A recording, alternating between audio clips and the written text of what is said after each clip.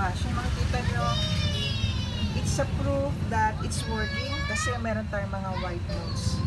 So, yan po yung white modes from our Munashi brand. Okay, so ngayon, magtatapa pa po tayo. Lalagay ulit tayo ng mga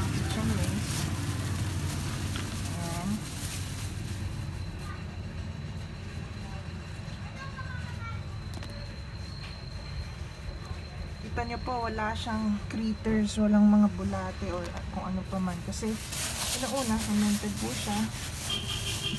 Tsaka airtight po. Ayan.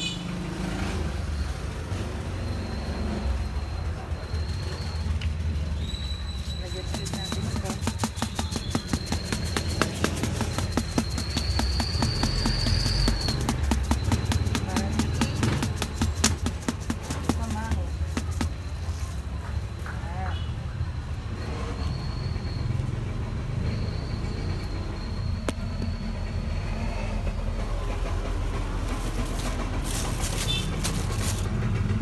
bukod po dyan, kung sa hindi pa mamaho, yung pong fermentation process helps with um, tinutulungan niya na matuna yung mga plant cell walls para mas madaling ma-absorb ng mga halaman yung mga nutrients from our